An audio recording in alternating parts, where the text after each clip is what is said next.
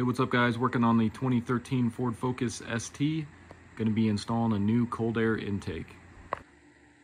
So the intake I'm gonna be throwing on this is a Injen Technology and it's gonna be part number SP9001P. And as you can see, this is for the 2013 through 2014. If you guys have a 2015 and up, it's gonna be uh, a little bit different, but pretty much the same concept on installing it and you can see this is the polished version. Um, I believe they have a blue a red and then also a black one. Um, I'll put links in the description uh, for this one here. But if we take a look go ahead and open this up. You can see includes the uh, air filter all that all your tubing. Um, yeah pretty much everything you need to install it.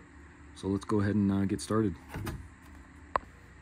so the first thing you're going to want to do is go ahead and remove this uh, engine cover. This will just uh, kind of snap off of here. So just lift up on both sides.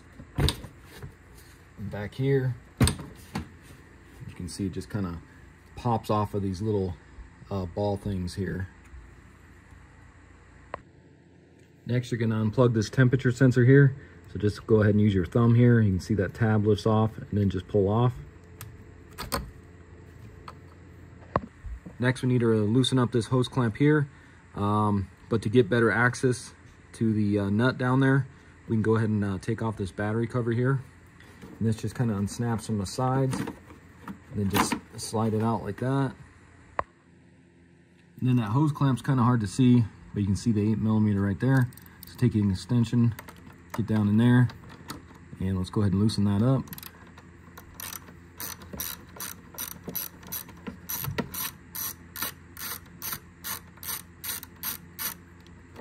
Should be good right there. Next, you're gonna go ahead and locate this eight millimeter screw right here. Go ahead and pull that one off.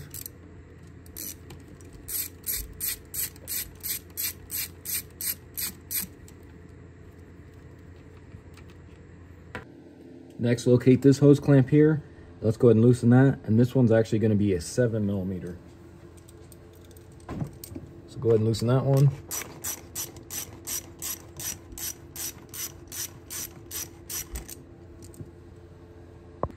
Next, we're going to remove this whole tube here. So you can just go ahead and pull this out like that. And then you should be able to pop this off right there like that. Next, go ahead and undo your snorkel here. So you can see you got this little kind of clip here. Pull out on that, bring this over.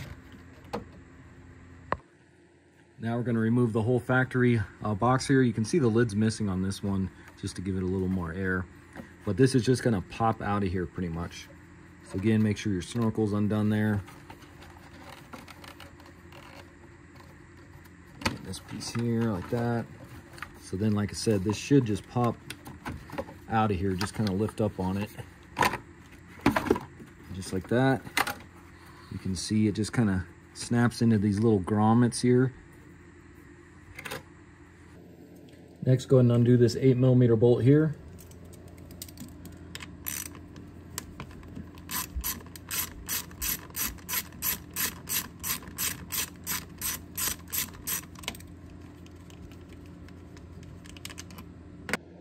Next, you're going to take a 12 millimeter wrench. We're going to get on this uh, little tab for our uh, engine cover there. And we're going to go ahead and untwist that off. Just be careful because these do break over time just because it's plastic. So go ahead and loosen that up. Once you get it broken free, you should be able to just pull this off by hand.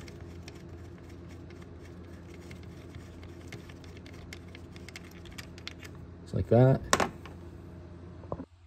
Next, we need to remove this crankcase breather tube that goes into the backside of the intake tube here.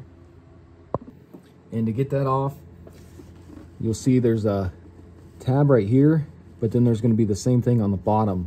So you need to squeeze both of those together and then uh, pull outward. So you can get your hands back in here, squeeze those together and then push off like that. So you can see, give you a closer look at it. So if you squeeze these two together at the same time, it kind of pushes these out and then you're able to free that off of there.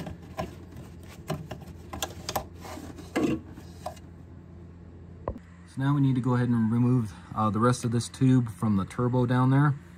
And it's kind of hard to access, but if you take a look, so right down in there, you can see right down in there, that's the uh, hose clamp that connects to the turbo there. That's gonna be a seven millimeter, so we need to loosen up that hose clamp so we can get this uh, tube off the turbo there. So I'm just gonna take my socket wrench with the seven millimeter on it, and I'm gonna go down through here to loosen that up. Uh, if you guys are having trouble getting that uh, loosened up and uh, your access isn't the greatest, you can always take off the passenger front wheel there and go through the wheel well and you got a lot better access to that hose clamp if you can't get it from up above here. So I'm just gonna reach down in here, try to get on that and get that nice and loose.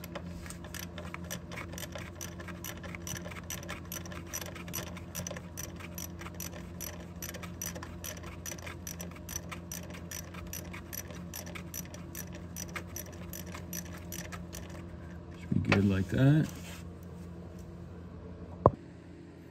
So now with that loose, we should be able to pull that off. So you might need to just kind of twist this towards the passenger side here. And then lift up, pull this out. Just kind of turn it if you need to, pull that off of there. So you can see that's all it is down there on the turbo. Just this hose clamp connects that to the turbo. Next, you're gonna take this Vibra mount that they supply you with, and we're gonna thread that into the uh, top of the vacuum pump here. So go ahead and just thread that in.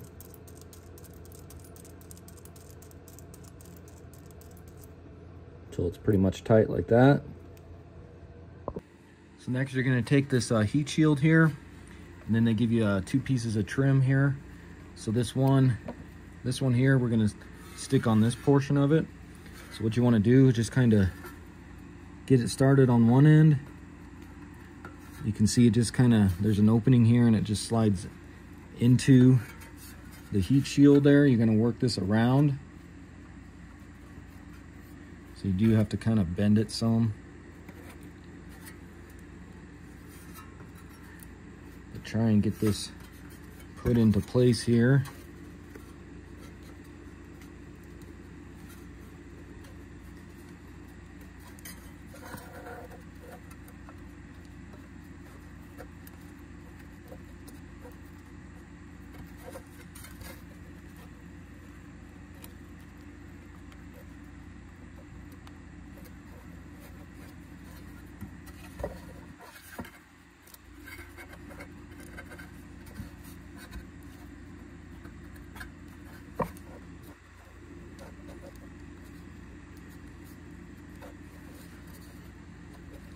You just want to make sure you get it fully pushed on there.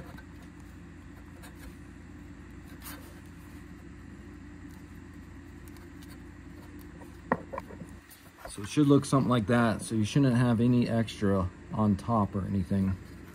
Then what you're going to do is take this other piece here and this is going to go on top of this portion here with the logo right there. So just start on one end on that. This one's a lot easier to stick on here.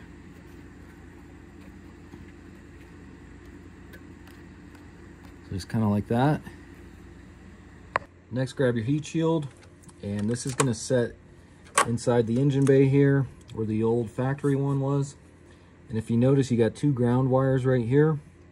So we're gonna use this threaded hole right here uh, to hold down the uh, heat shield and then it's also going to sit in this uh, spot right here. So if you take the heat shield, like I said, it's going to sit in here like that, but you can see it's going to hit on that ground wire there. So what you do is you're going to take one of these bolts they supply you with and this plastic spacer and then this fender washer. What you want to do is stick your bolt through here first and you can lift up on that and this spacer is going to go down below that so that'll lift this area up to clear the uh, ground wire there so if you take your spacer along with your fender washer here just kind of stick that through hold that on there like that go ahead and bring this down into that uh, threaded hole there. Kind of just feel for it, get it kind of started there. You may need to lift this up, get it into this spot here. So just make sure you hold on to that so you don't lose your spacer in that.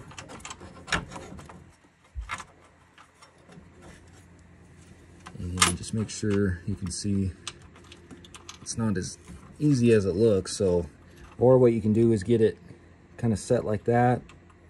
I still got hold of the spacer down below here. Get this kind of into position there. Just like that, and then you can go ahead and thread that in there.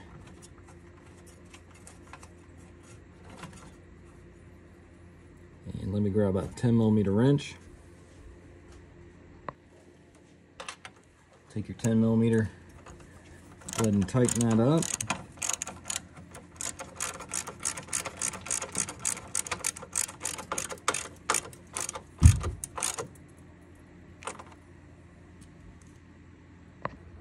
Next, we need to uh, go ahead and tighten it up right here. Um, if this isn't loose enough, you can always just loosen this uh, bolt that we just tightened up just to give that a little more wiggle room. That way you can line up that hole there. And then you're gonna take uh, your other bolt along with your fender washer and another fender washer and then this nut. And you're gonna go up through the bottom come up through here. Try to get that hole lined up here.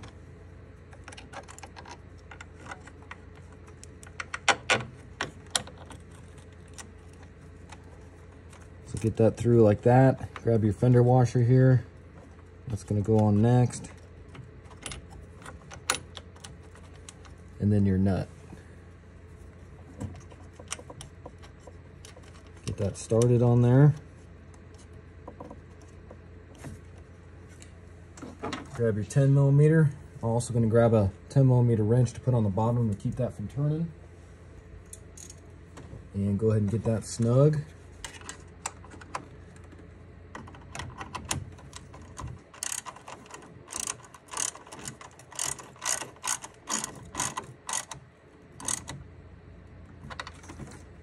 And same with this one. Go ahead and tighten that up again. And then you put this piece, if that comes off, just stick that back on there.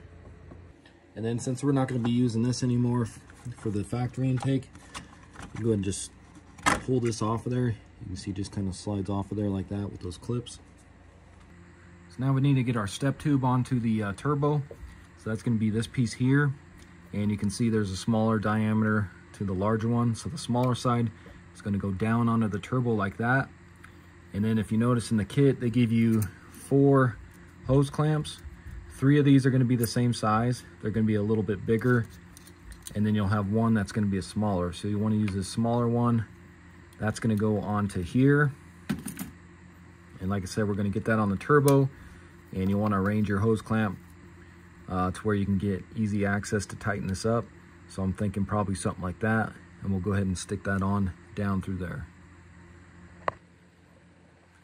And then these hose clamps are gonna be an eight millimeter. So what I'm gonna do, just kind of get it on there like that because you can see there's a pretty big uh, opening here.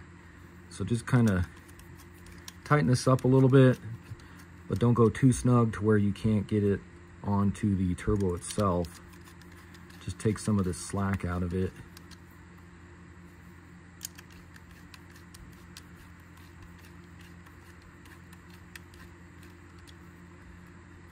Go a little more.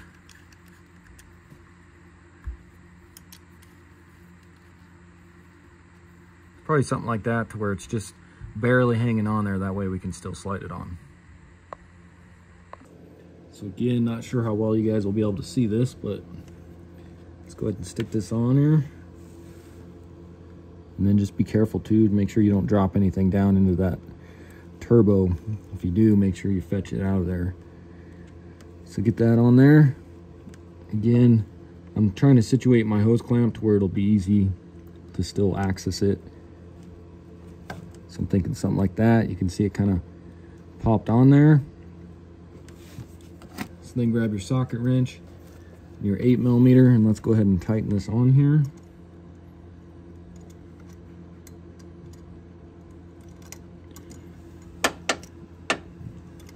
Just really hard to get your socket on there.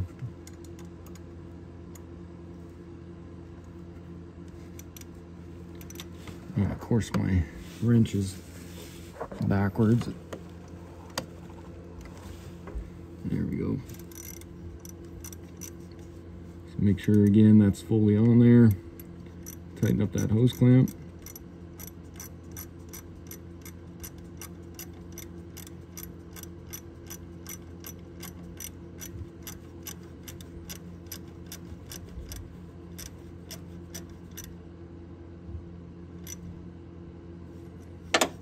Just like that. And just kind of pull on it, make sure that ain't going anywhere. Next, go ahead and remove the other half of this uh, crankcase breather hose. So same thing, I'm gonna squeeze right here, and we'll pull it off. Right there, like that. Then you're gonna take your new intake tube here, along with your crankcase breather hose, and this is gonna snap into here.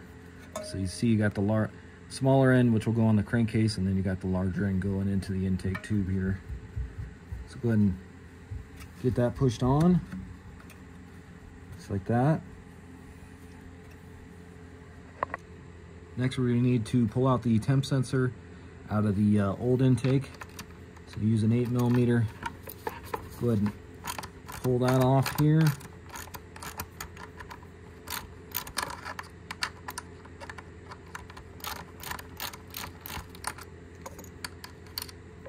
It should just pop right out of here. Just like that. You're gonna take that temp sensor. Go ahead and uh, make sure that's clean, nothing got on that. You're gonna stick this into the, your new tube here. Of course, line up the holes. It's gonna go in there like that. Stick that in there like that. Take the uh, 10 millimeter bolt they supply you with, the smallest one there, that's gonna go in here. Take your 10 millimeter, go ahead and tighten that up.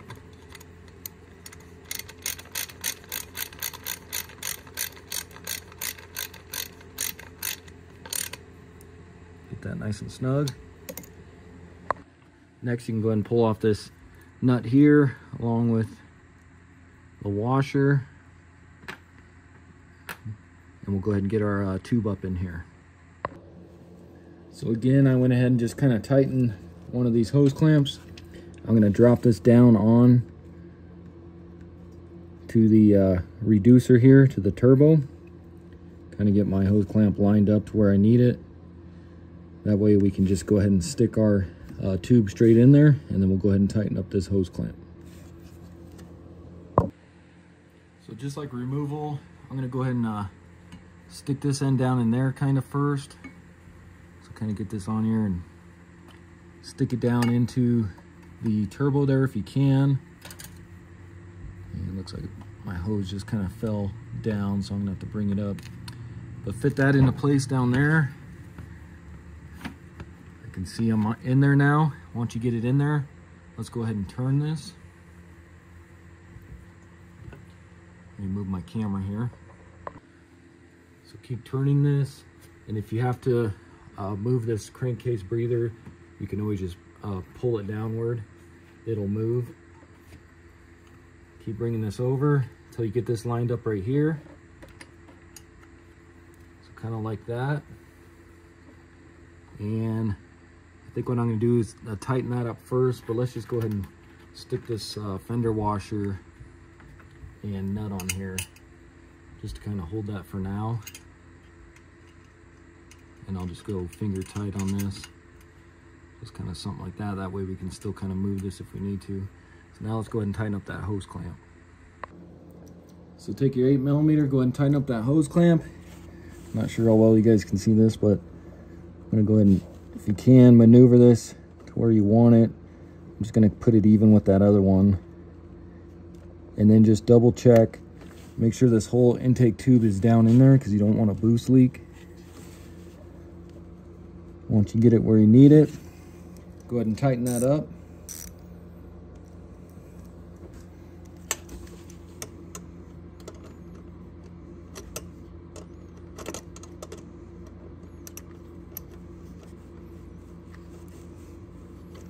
And you can see my wrench wants to turn with it. So you may need to tighten that just a little more by hand if you can. And I just dropped my socket wrench.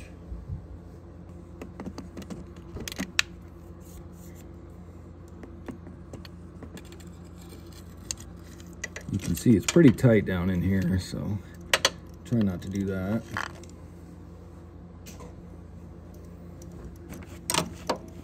Try this again here.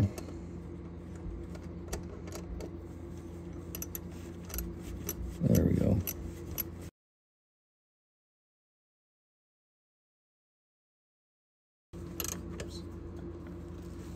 So about right there, should be good. And then just give it a, kind of just pull on this tube. Just make sure that ain't gonna pop out and that's tight enough. That should be good right there. So next you can go ahead and get your, uh, this little piece for your engine cover. That's gonna thread back into here. And then you're gonna take your 12 millimeter wrench and uh, get that tightened back up. Right there like that. Get your wrench around that. Just get that nice and snug. Again, that's just plastic. It'll break, so don't go too tight. Then grab your 10 millimeter. Go ahead and tighten up this nut here. Get that snug. Next, you want to get your crankcase breather hose uh, connected back on the crankcase there. So it's going to be hard to reach back here. But again, just get it snapped on to the uh, valve cover there. So just kind of kind of feel for it.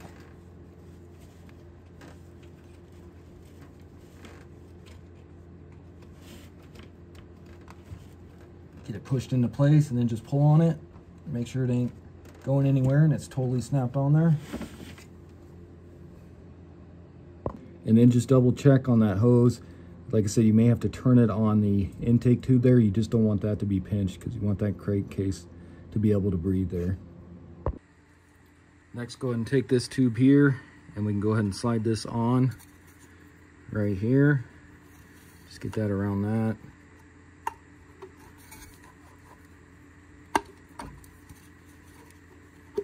Get that kind of into position here.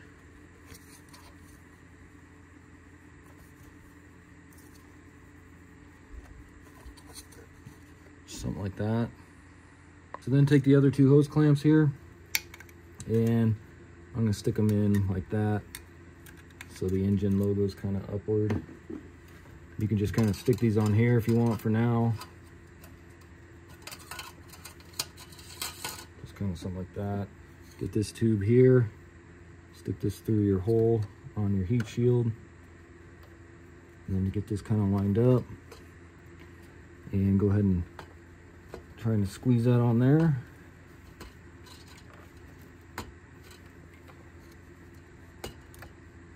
kind of something like that. And then you can grab your hose clamps here, slide these, get them into position. Probably do something like that. Then like that. And those are going to be eight millimeters. So go ahead and tighten those down.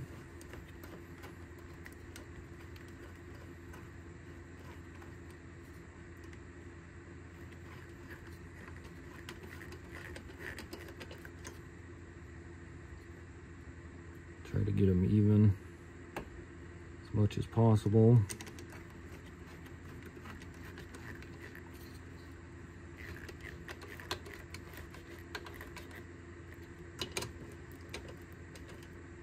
Like that. Then go ahead and take your fresh new filter, get your hose clamp on here, and let's go ahead and get this on the intake tube. Might be pretty tight here, so you have to Squeeze it by the fuse box here.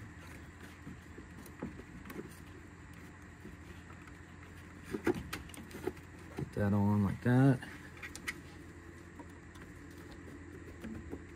Make sure that's fully on there.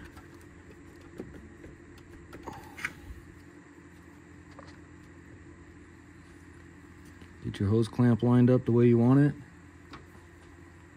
Take your 8 millimeter and tighten that down.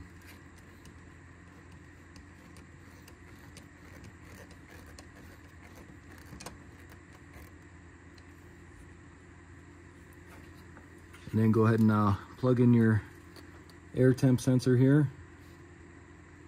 Make sure that clicks. And we should be good. And then there is a protective uh, little sticker on this. So you can pull that off. Give it a little more flash. And then one last thing, go ahead and get your uh, engine cover back on.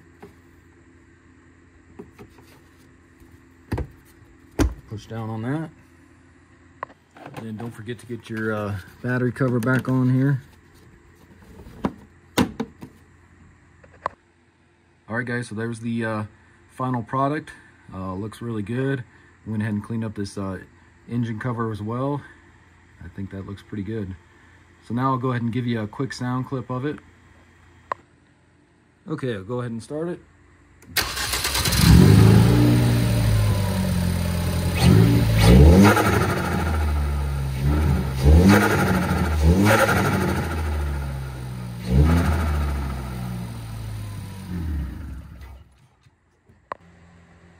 Right guys, so as you saw, that added a lot more sound to the intake. You can really hear that turbo now. And then uh, hopefully it adds a little more power and a little more torque as well. So that's gonna do it for the video. Again, this was a 2013 Ford Focus ST. Went ahead and installed the Injen uh, cold air intake. Uh, not too bad of a job. Takes you about maybe an hour or so is all. Uh, pretty simple job to do on these cars. So hopefully this video helps you out and if it does why don't you subscribe to my channel check out my other videos. I got quite a few on this car alone so check those out when you get a chance and i'll see you in the next video. Thanks for watching